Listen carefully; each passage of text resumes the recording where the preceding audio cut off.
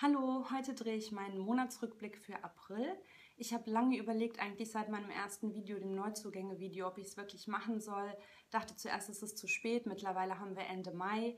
Dann dachte ich mir, Bücher haben kein Verfallsdatum, ich drehe es einfach ab. Es war auch ein sehr erfolgreicher Lesemonat. Ich habe insgesamt neun Bücher gelesen im April und ähm, fange jetzt einfach direkt mal an. Und ich hoffe auch, dass die Qualität bei diesem Video besser ist. Ich hoffe es, wir werden es sehen. Das erste Buch, was ich im April beendet hatte, war von Tony Jordan, 1000 kleine Schritte, im Piper Verlag erschienen. Es geht um Grace, die ihrem Beruf als Grundschullehrerin nicht mehr nachgehen kann, weil sie eine Zwangsneurose hat. Hat sie auch seit ihrer Kindheit. Sie muss alles zählen. Sie zählt äh, Schritte, sie zählt die Buchstaben in Namen, sie zählt die Streusel auf ihrem Kuchen, die Borsten auf der Zahnbürste, sie zählt wirklich alles. Das ist das, was ihr in ihrem Leben Halt gibt. Und da sie nicht mehr arbeiten kann, hat sie sich ihren Alltag eingerichtet, so wie sie sich wohlfühlt, sprich ähm, alles dreht sich um, um Zahlen, ist alles gut durchorganisiert und berechnet. Dann eines Tages lernt sie einen Mann kennen und der bringt ihre Welt der Zahlen sowieso sozusagen ähm, komplett durcheinander. Es ist eine sehr schön geschriebene Geschichte. Trotz der Ernsthaftigkeit des Themas Zwangsneurose, finde ich, hat es Tony Jordan sehr, sehr gut verstanden, die Balance zwischen Ernsthaftigkeit und Humor ähm, zu halten.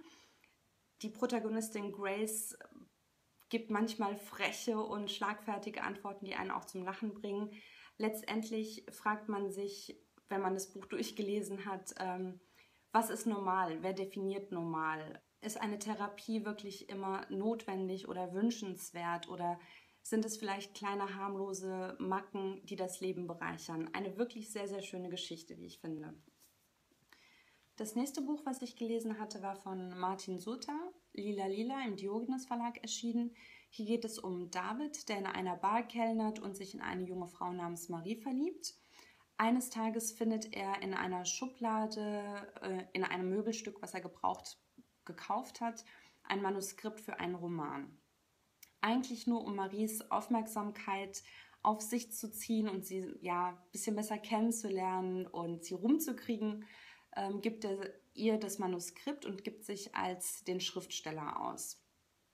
Doch äh, bei dieser Sache bleibt es nicht. Die Geschehnisse nehmen ihren Lauf, alles verstrickt sich immer weiter. Und ähm, es gibt eine Person, die mehr über diesen Identitätsklau und diesen geistigen Diebstahl weiß und es verstrickt sich immer mehr. Sehr viel mehr will ich gar nicht darüber sagen. Es hat auf jeden Fall Spaß gemacht, dieses Buch zu lesen. Ich fand es sehr, sehr gut. Danach habe ich gelesen von Philip Roth, Der menschliche Makel, im Rowold Verlag erschienen. Das ist keine reine Unterhaltungslektüre. Es ist schon etwas anspruchsvoller. Ich habe mit diesem Buch auch im März, glaube ich, begonnen und erst im April äh, konnte ich es beenden, weil es einfach seine Zeit braucht, wie ich finde. Das ist kein Buch, was man einfach mal so schnell ähm, durchlesen kann. Hier geht es um Coleman Silk, einen emeritierten Uniprofessor und Dekan, der eine, seinerzeit eine großartige Karriere hingelegt hat, ein sehr ähm, geschätzter, geachteter, beliebter Mann. Eines Tages lässt er einen eigentlich ziemlich harmlosen Satz in seiner Vorlesung fallen, der aber seine Reputation und seine Karriere kostet, denn ihm wird Rassismus vorgeworfen. Von da an lebt er recht zurückgezogen. Er scheint manchmal frustriert, manchmal ist er wütend diese Ungerechtigkeit, die ihm widerfahren ist, lässt ihn nicht los. Teilweise wirkt er der Umgebung gegenüber gleichgültig, aber diese Vorkommnisse lassen ihn einfach nicht los.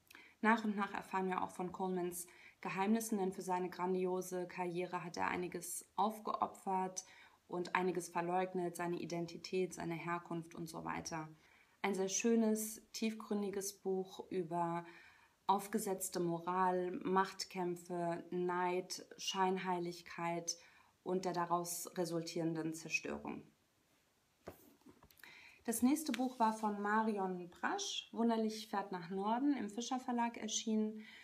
Hier geht es um Wunderlich, der von seiner Freundin ähm, verlassen wird und Liebeskummer hat.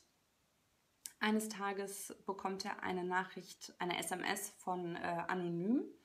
Anonym weiß man nicht genau, wer das ist, aber er scheint auf jeden Fall Wunderlichs Gedanken lesen zu können und überhaupt wie ein Orakel über alles und jeden Bescheid zu wissen.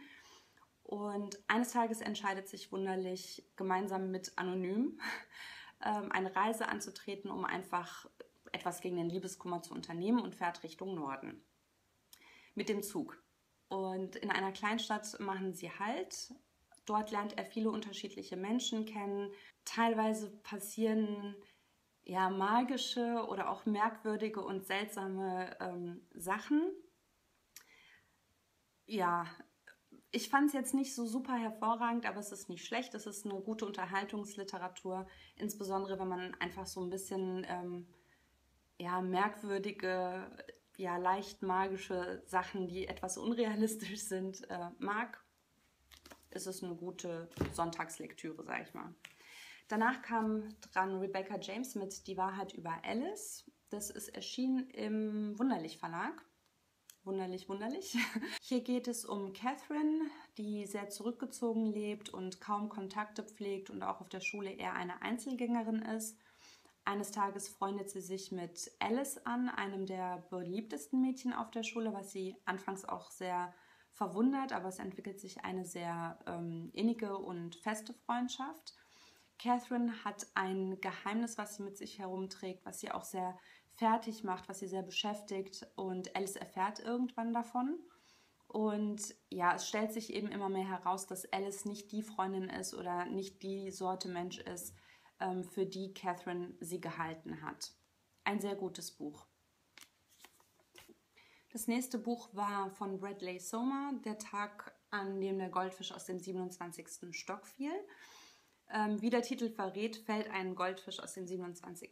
Stock und während er so runterfällt, ähm, werden die Geschichten erzählt, die sich hinter den Fenstern äh, in den Wohnungen abspielen. Ich finde, das hatte ich auch bei diesem Tag-Video ähm, erzählt, eine tolle Grundidee, aus der man meiner Meinung nach mehr hätte rausholen können, aber die Geschichten sind teilweise wirklich sehr gut. Aber es konnte mich nicht zu 100% überzeugen. Aber es ist kein schlechtes Buch, das könnte ich jetzt wirklich nicht behaupten. Danach habe ich gelesen von Patrick äh, Modiano im Café der verlorenen Jugend. Es spielt in Paris der 60er Jahre. Es geht um Luki, ähm, eine Frau, eine junge Frau, die gesucht wird, die eine etwas ja, vernachlässigte Kindheit hatte, irgendwann heiratet und kurze Zeit später ihren Mann verlässt, der sich dann auf die Suche begeben möchte nach ihr und dafür jemanden anheuert, der ja ihren Spuren folgen soll. Ich fand die Geschichte ganz unterhaltsam. Es ist schön geschrieben, eine schöne Sprache, ähm, eine schöne Atmosphäre. Ja. Danach kam dran David Fonkinos mit größter anzunehmender Glücksfall im DTV-Verlag erschienen. Ähm, ich mag Kinos sowieso unheimlich gerne und in diesem Buch geht es um Jean-Jacques und Claire, ähm, ein Ehepaar, dem es in der Ehe einfach an Spannung, an Abwechslung fehlt. Der Alltag hat sie eingeholt und es ist alles relativ eintönig geworden. Und dann entstehen natürlich ähm, Versuchungen, eine Affäre zu beginnen, trennt man sich, trennt man sich nicht, liebt man, liebt man nicht, wen liebt man und so weiter. Sehr französisch, sehr schön, sehr ironisch, ähm, hat mir sehr, sehr gut gefallen. Das letzte Buch ist von Ferdinand von Schirach, der Fall Collini, erschienen im Pipa Verlag. Hier geht es um einen Mordfall. Der junge Anwalt Leinen übernimmt die Pflichtverteidigung, denn er sieht es auch als ähm, große Karrierechance. Der Angeklagte allerdings will keine Motive preisgeben. Er möchte eigentlich gar nicht über diesen Mordfall reden. Äh, gleichzeitig erfährt Leinen, ähm, wer das Mordopfer war in, in Wirklichkeit und ähm, ja, hat dann auch privat einen Bezug zu dieser Person, was es ihm etwas schwierig macht und er steckt ein bisschen im Zwiespalt geht der Sache dann aber doch nach, insbesondere auf eigene Faust, weil der Angeklagte eben nicht reden möchte. Und das Ende ist wirklich berührend. Also das ganze Buch ist sehr fesselnd, das ist sehr spannend und das Ende ist sehr unerwartet, ähm, eine große Überraschung, wie ich fand. und ja, berührend. Hat ja auch nachdenklich gemacht. Sehr gelungenes Buch. Das waren meine Bücher, die ich im April gelesen habe. Ähm, schreibt mir bitte in die Kommentare, ob ihr auch eins, zwei oder mehrere äh, Bücher von den hier vorgestellten gelesen habt, wie ihr sie gefunden habt. Würde mich sehr interessieren. Und ansonsten sehen wir uns bald wieder. Tschüss!